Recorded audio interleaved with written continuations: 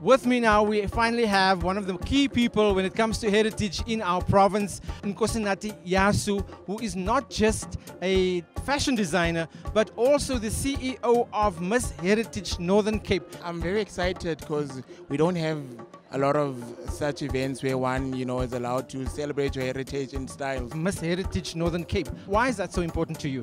You know, young people, I feel like young people aren't really informed about their heritage. So through pageantry, it's something that they enjoy.